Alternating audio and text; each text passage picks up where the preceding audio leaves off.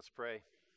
God, we thank you for this morning, for the opportunity to gather together as your people. I pray that you would speak to us through your word now. We pray your spirit would open our hearts and minds so we'd understand. Uh, we pray this all in Jesus' name. Amen. The church has left the building. This is, uh, yeah, this is my first time around on this. Uh, so I, I, love it. I, I love that we are going to leave this building and go out into the community. Now, I know every, not everyone can participate or will participate today, but a lot of us will uh, be going out of the walls of this building to the community to serve uh, because it reminds us that the church is not the building. And we often use that in our language. I'm going to go. I'm going to go to church today. I'm going to go to, and we we mean the building. We don't have to say that, and I'm not saying we should. I'm going to go to the church building, um, but the reality is, the church is not the building, the church is the people. The church is the people of God. In fact, there are many people all around the world today that are the church, being the church, living out as the church that don't have a building. Uh, maybe they're living in poverty. They, they have to meet in secret. They're still the church, but they don't have a building.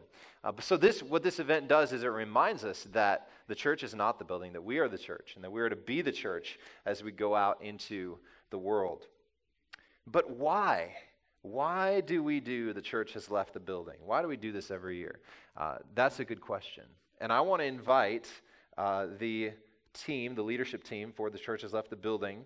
So Kathy Heinzelman, uh, Rick Gregory, Randy and Dawn Reeder, uh, Sharon Second, and Maggie Matisick. Why don't you come on up? Come on up on stage. I'm going to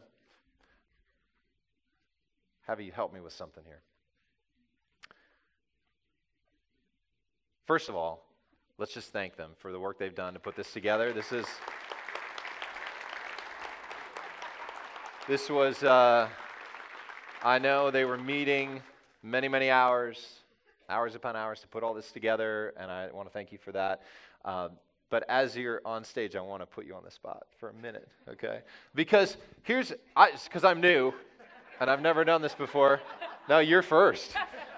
Uh, because I've never done this before, I'm thinking, okay, so we're going to go out into the community, we're going to serve in different areas, and there will, may be people who will who will ask, "Why are you doing this?" They're going to ask, "Why are you doing this? Why are you here? Why are you serving?" So, if this is a good question, right? Uh, how would you answer that question? So now you get to start because you're the leader. But we're going to pass it on down, and I'm going to say, so if someone comes to you and says today, if you're out and you're serving, uh, why are you doing this? What will you say? Um, what I would say was we saw a need and we followed God's lead to meet that need. And we are excited to help today and to come alongside you. Good. All right. Rick, what would you say? I would say that we are followers of Jesus and we're following Jesus out into the world to, to help in areas that we see that there's a need to be his hands and feet. Okay. Thanks. I would say that God loves everyone, and we need to provide for them through through His Word. Um, I would just echo what Rick said that um, we are God's hands and feet, and this is the way that we show God's love to our community. That church is more than just Sunday morning, but that we want to connect with the people out in the community and my experience has been they're always surprised that that we would give up time to come out and serve them. I would say that it's not always what we say, but what we also do. We could show it through doing things yeah, also. Good. Good. All right, give him a hand. Thank you. You can.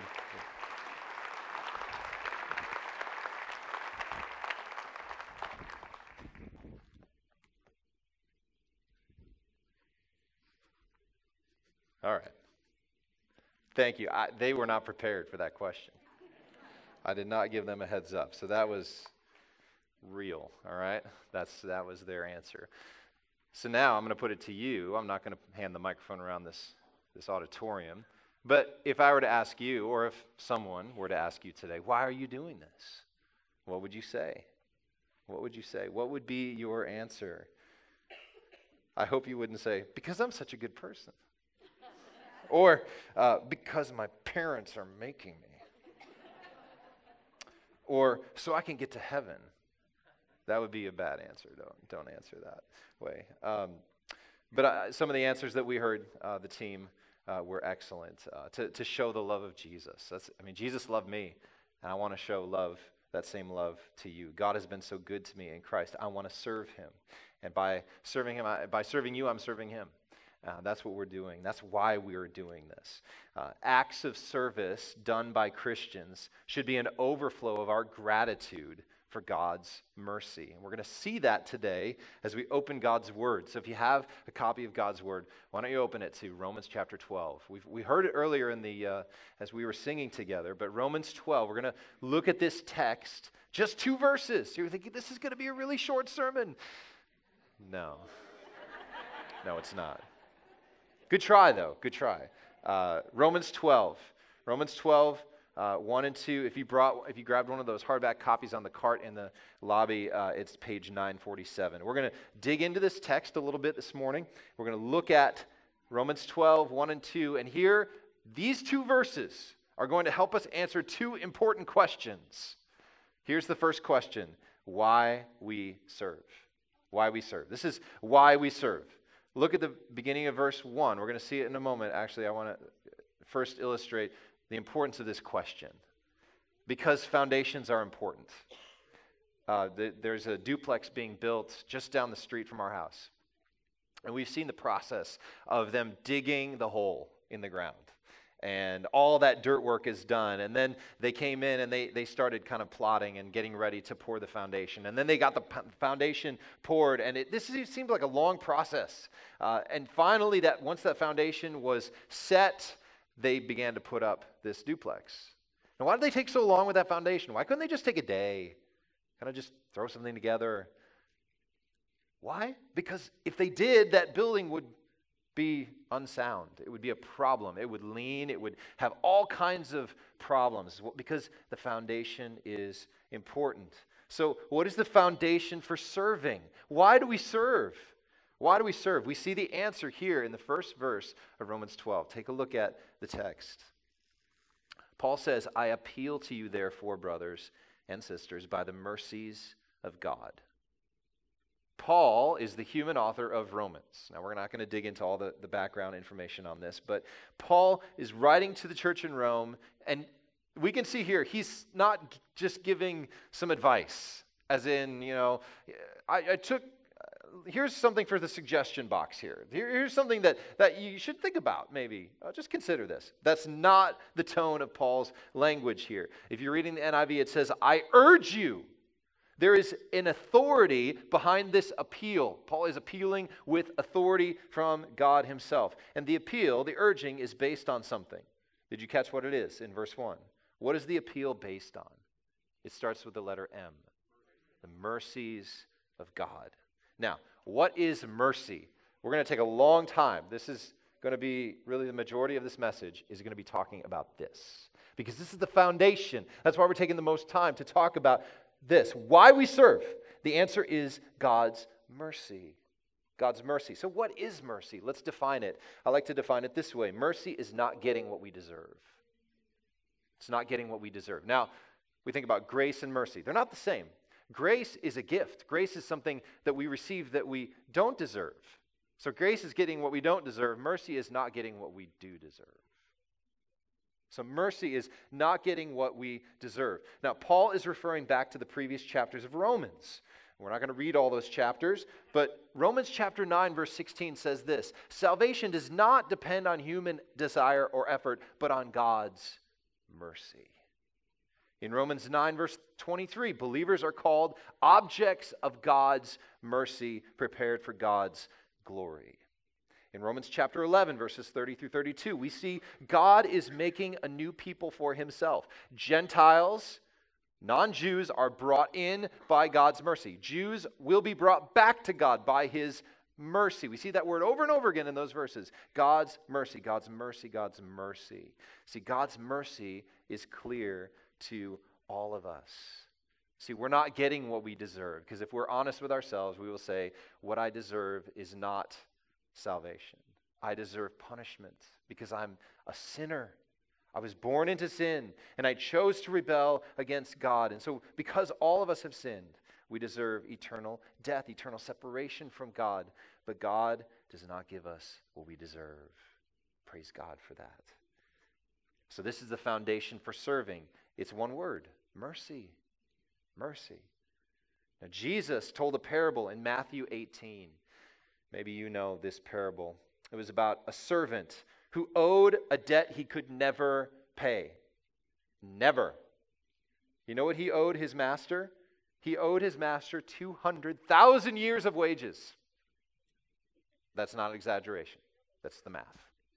He owed his master 200,000 years of wages. If we took, um, uh, if you figure in today's money, today's wages, if you make $50,000 a year, 200,000 years of wages amounts to $10 billion with a B.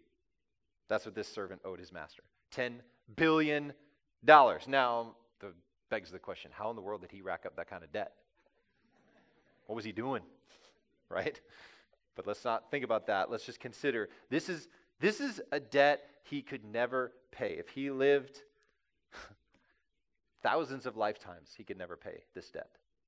So it was an unpayable debt. There was no way he could pay this debt. So what did he do? He did the only thing he could do. He fell on his knees and begged for what? Mercy. He needed mercy. He needed to not get what he deserved. He groveled, he pled with this master, and the master, out of pity for him, did the unthinkable. He forgave the debt. He forgave it. This massive, impossible debt wiped out, gone. That is unbelievable mercy. You would think that this servant would be the most grateful, the most merciful person in the world in that moment. But as soon as he left his master's presence, he found a buddy who owed him one day's wage. And he grabbed him by the neck, grabbed him by the collar, and he said, Hey, pay me what you owe me. And, and, this, and the fellow servant says, Well, I'm sorry, just give me some more time. Uh, please give me mercy. And this servant said, Okay, no, that's not what he said. He said, I've been shown great mercy. Of course, I'll give you mercy. Yes, I have mercy to hand out like popsicles. No, he didn't. He didn't give him mercy. Instead, what did he do? He took this friend, this buddy, fellow servant, and he threw him in jail until he could pay the debt. This one, this tiny debt. He couldn't forgive that tiny debt. Now, of course, word came back to this servant's master that what had happened, and uh, he called the servant to himself, and he said, and we see this in Matthew 18. This is the master speaking to the servant. He says, You wicked servant, I forgave you all that debt because you pleaded with me, and should you not, or should not you have had mercy on your fellow servant as I had mercy on you? We too have been shown great mercy. We had a debt that we could never, ever pay. It was more than 200,000 years of wages. It is an eternal debt. We could live an eternity of lifetimes and never pay it off. And do you know what God did? Ephesians chapter 2 tells us, but God, being rich in what? Mercy because of the great love with which he loved us, even when we were dead in our trespasses, made us alive together with Christ. By grace you have been saved. So God made us alive with Christ. So my question to you this morning is simple Are you alive? Are you alive with Christ? If you do not have Jesus, you are still dead in your sins. You are still dead. You still owe that eternal debt that you can never pay. But the good news, the gospel, is that Christ came to die for sinners like you, like me. He came to die for us. He paid the debt in full. The debt we could never pay, Jesus paid it all. 1 Timothy 1:15 tells us this, this saying is trustworthy and deserves full acceptance. Christ came, Jesus came into the world to save sinners. So has your impossible debt been paid once and for all? Do you have new life in Christ? If you don't, you can turn to Him now in your heart. You believe on what He has done. See, God has done everything necessary to wipe away your eternal debt. He, he wiped it off the books on the cross. But you have to receive this. You have to believe on Christ and receive this forgiveness, this mercy. In fact, it's more than that. We're, we're more than just forgiven our sins. We're more, the debt is more than just wiped away. In fact, we receive an eternal inheritance in Christ because we're adopted into God's family as his children forever. Nothing can take that away from us. So, this is an incredible gift. God's mercy and God's grace is given to us in Christ, but we have to act upon this good news. We have to make a decision, make a response. Have you responded to the gospel? Have you responded to this good news? Has your debt been paid? You, you might be asking, well, what do I need to do to receive this mercy, this forgiveness? You need to repent of your sin. You need to believe on Christ alone for your salvation. Romans 10 9 and 10 says, If you confess with your mouth Jesus is Lord, that's repenting. It's turning to Him. And believe in your heart God raised Him from the dead, you will be saved. Have you done that? Have you repented of your sin and believed on Christ? I hope you have. I know many of you have. I hope if, if you're listening to this message and you've never repented of your sin, you've never believed on Christ, it's a decision of the heart. You can make it right now. Right where you're sitting, you can make this decision to receive God's mercy, God's grace, and forgiveness in Christ. Now, many of us in this room, most of us, I would say, are believers in Christ. We have made this decision. We've turned to Jesus. So here's the question for us Does your life reflect mercy? Does our life reflect the mercy God's given to us? See, in this parable, this wicked servant had received this incredible, unbelievable mercy, and yet his life was unchanged.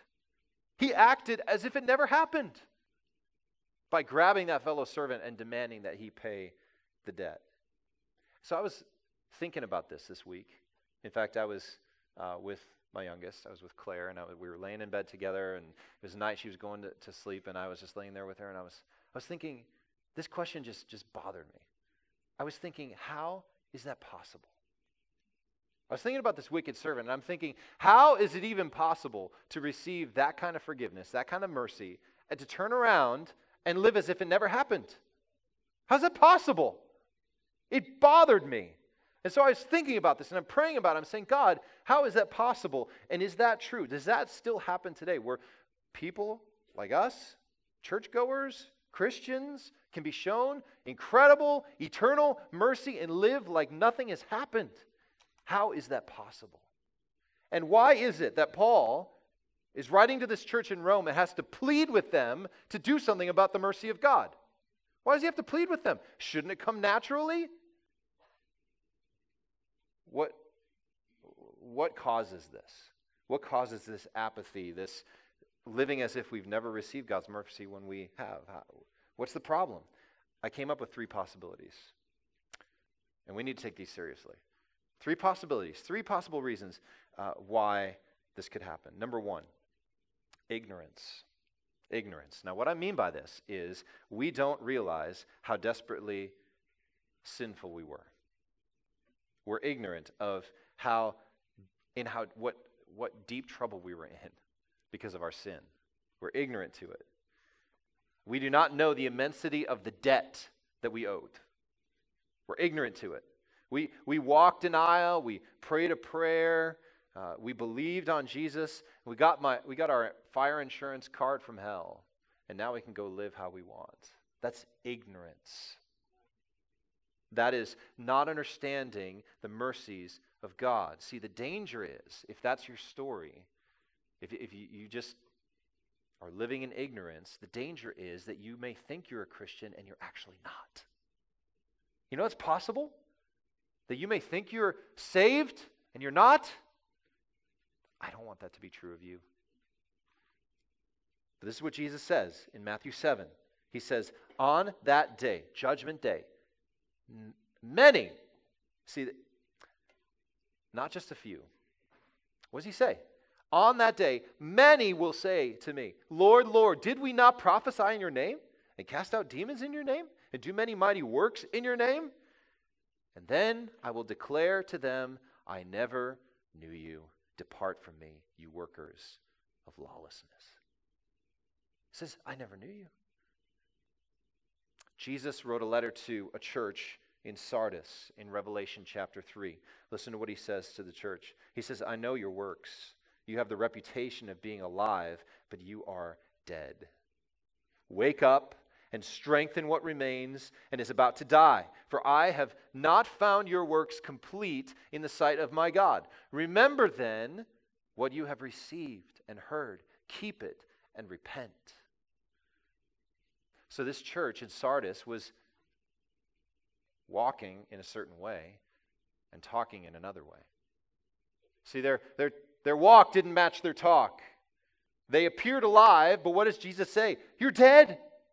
You're actually dead.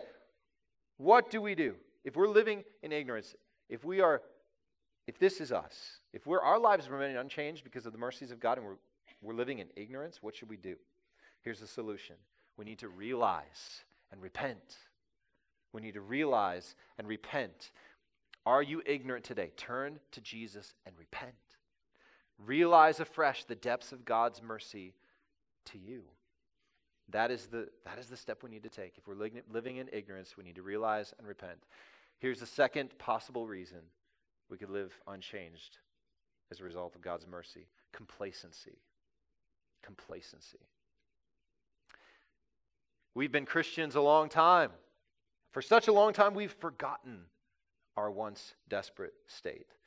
We are, this is a possibility too, we are theologically sound and practically complacent. We believe certain things, but we don't live like we believe them. We're complacent, we're merciless. Uh, this was the problem for the church at Ephesus. Jesus writes to the church in Revelation 2 saying, You have abandoned the love that you had at first. In fact, he says this uh, in verse 5 of Revelation 2 Remember, therefore, from where you have fallen, repent and do the works you did at first. This is a call to all complacent Christians. Remember where you, from where you have fallen and repent and do the works you did at first. This is a complacent church. Here's the question Am I, am I complacent? Is that me? Am I complacent? Here's the solution I need to repent and re engage. I need to repent and re engage in the work of the ministry and church life. This will shake me out of complacency is repentance and re engagement. Third, here's a third possibility arrogance. Arrogance. We have such a high view of ourselves, we think God is just glad to have us on his team. I'm so glad that God, I mean, God must be so excited to have me on his team because I've got, I've got money, I've got resources, I've got talents. Um, I'm such an asset to God. That's arrogance. This, there's another church that Jesus wrote a letter to in Revelation chapter 3 is the church at Laodicea. He calls them lukewarm. Now, if you study this a little closer, uh, this has to do with the water supply in Laodicea. Uh, Jesus isn't saying, I wish you were. Um, I, I w- uh, Jesus isn't saying, I don't want you cold. He's saying, cold water has value. It's good. Hot water has value. It's good. Lukewarm ha- water has no value at all. You're, you're, you have no value. Uh, and Jesus is sick to his stomach because of this church. He wants to vomit. Listen to what he says to the church at Laodicea. He says, For you say, I am rich, I have prospered, and I need nothing, not realizing you are wretched, pitiable, poor, blind, and naked. Ouch. Jesus is speaking to this church at Laodicea. See, Laodicea was very wealthy. They had all they needed. They were self-sufficient, self-sufficient, and their self-sufficiency led them to arrogance. So here's the question: Am I arrogant? And I think this is where I land of the three of the three things that keep me from being merciful. This is where this is where I am. I land in arrogance. Here's the solution: I need to repent and respond to Jesus. Repent and respond to Jesus. Are you arrogant? Repent and respond to Jesus. You know what Jesus says in Revelation 3? You know this verse. You've heard it at evangelistic crusades. Jesus says, Behold, I stand at the door and I knock. You know who G- Jesus is talking to? He's not talking to unbelievers, he's actually talking to believers. He's talking to the church. He's saying, Wake up. You're so arrogant, you're not even letting me in the building of your life, of your church. Jesus is knocking at the door, he's asking to come in. The Lord is standing outside the door. He's been expelled from this church, these people's lives. He wants to come back in, he wants to have fellowship with them. So if I'm arrogant, I need to let Jesus back in, and I need to let him have full control of my life. That takes a humbling of myself and saying, I can't do this myself. I can't do this on my own. I am not self sufficient. I need Jesus. And I need him to take over once again. So if you're arrogant, if you're stuck in arrogance, repent and respond to Jesus. So when we think about the depths of God's mercy to us in Christ, it prevents ignorance, it destroys complacency, and it cuts down arrogance at the root. Today, as we go to these different sites where we're serving, may we go thinking about the mercies of God. This week, as we go to school, as we go to work, to family life, may we be fixed on this idea of the mercies of God and think about how great His mercy is to us. See, God's mercy should change our everyday lives. It should. So God's mercy is why we serve. Second, second, let's consider how we serve. How we serve. How do we serve? What do we do? According to these verses, we can serve in two specific ways. Two ways to serve. First, with our bodies. We can serve with our bodies. Look at the second part of verse 1. Present your bodies as a living sacrifice, holy and acceptable to God. Now, this is a loaded statement. Just stop there for a moment. This is a loaded statement. So, picture this. Sacrifices were made to God in the Old Testament. They took animals and they slaughtered them. It was a bloody affair. And they sacrificed these animals on altars to satisfy the wrath of a holy God. See, someone has to die for sin, someone has to pay the penalty. And so, these lambs, these goats, these bulls were slaughtered and placed on the altar as a service to God, as a way to worship Him. But now, what has happened? Jesus Christ is called the Lamb of God who what? Takes away the sins of the world. In fact, in Hebrews we see he died once for all. No more lambs, no more goats, no more bulls, no more sacrifices need to be made. Wait a minute, except except here we see in Romans 12 as a follow-up Jesus has died for our sins. We're made right with God once and for all, but now we crawl up on the altar. We get up there and we say, God, my life is yours. We sang it this morning. Here am I, all of me. Take my life. It's all for thee. So we, we're saying, I'm going to offer my body as a living sacrifice. Not, not a dead sacrifice, not one that's going to be slain, but one that will live for Christ. And I'll use my body to glorify him.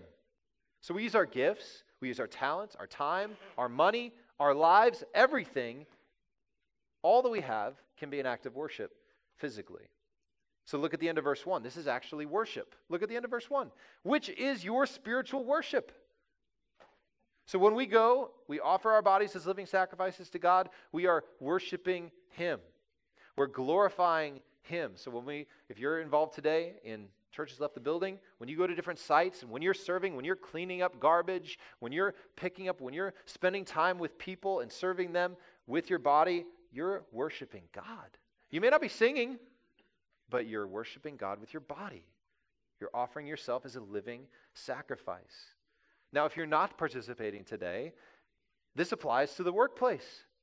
It applies to school and home. Wherever you go, whatever you do physically with your body, you can worship God and serve him in view of his mercy. Colossians 3:23 and 24 says this, "Whatever you do, work heartily as for the Lord, not for men, knowing that from the Lord you will receive the inheritance as your reward. You are serving the Lord Christ.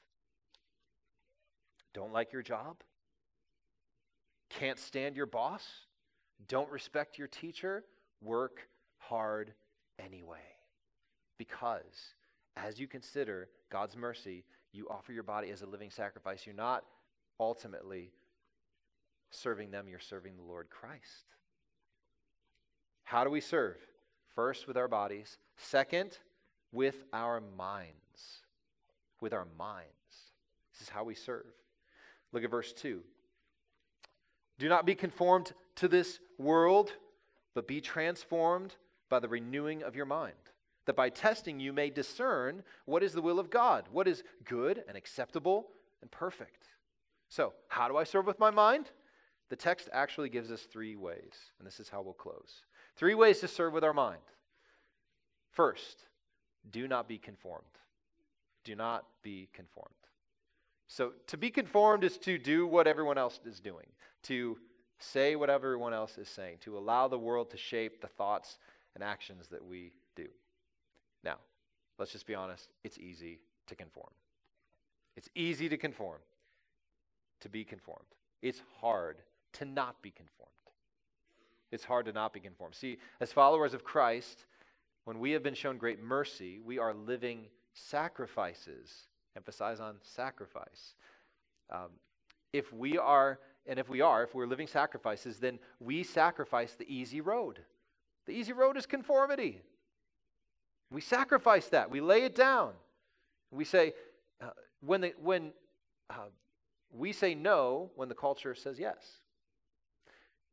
We lay down our rights rather than demanding them. We hold everything with an open hand rather than saying mine. Do not be conformed. So it's the first way we serve with our mind. Second, be transformed. Be transformed. How? Maybe you caught it. How are we transformed? By the renewing of our mind. Not the renewing of our emotions or even of our will. The transformation here happens uh, in the mind, in the way we think, in our mindset. So, what we think matters, what we believe matters. Uh, the word Paul uses for transform is the same word Mark uses when Jesus was on the Mount of Transfiguration, when he totally changed before the disciples' eyes. It is a total change. A transformed mind or a renewed mind is totally different than a worldly mind. We change the way we think, and when we do, it'll change the way we live. See, when we change the way we think, we'll change the way we live. So don't be conformed, be transformed. Third, discern God's will. Now, the order matters. So, as we're not being conformed to the pattern of this world, and as our mind is being transformed, renewed, then we'll be able to do this third thing, which is to discern God's will. See, God's will is described in three ways. Did you catch the three in the text? What does it say? He is good, it's good, it's acceptable, or NIV says pleasing, and perfect. God's will is that and more. So here's the question How do we discern God's will? What are some practical ways we can do that? If you were here last week, you heard this, and I'm going to just repeat the three application points um, from Colossians 1. How do we discern God's will? Through God's word, which we handed out this morning to second graders. That was so cool. We discern God's will through God's word, God's spirit, and God's people. That's how we discern God's will. See, God's word will help us renew our mind. God's Spirit will lead us into truth, helping renew our minds. And God's people will come alongside us and help us not conform to the world and hold us accountable. See, when we get into small groups, when we have Bible studies, when we spend time together on Sunday morning, we should be encouraging one another, exhorting one another, holding one another accountable so that we will not be conformed to the patterns of this world. We will live differently. So, are we in God's Word? Are we submitted to God's Spirit? Are we spending time with God's people? If we, if we increase our commitment to these three, we will better discern God's will and we will be able to serve Him well with our minds. So, how do we serve? We serve God with our bodies and with our minds. And then when someone may come up to you today and ask you, Why are you doing this? you can say, Here's why I serve. Because God has shown incredibly, eternally glorious mercy to me. This mercy compels us to go and be the church today and every day. Let's pray. Let's ask God for his help, okay? So let's pray right now. God, we thank you so much for this time in your word. And Lord, we commit ourselves to the work that you have for us today. Wherever we go, whatever we do this whole week, even not just today, but all week long, we pray that you would help us to serve compelled by your mercy that you've shown to us in Christ. And so we commit ourselves to that. Uh, for your glory, we pray in Jesus' name. Amen.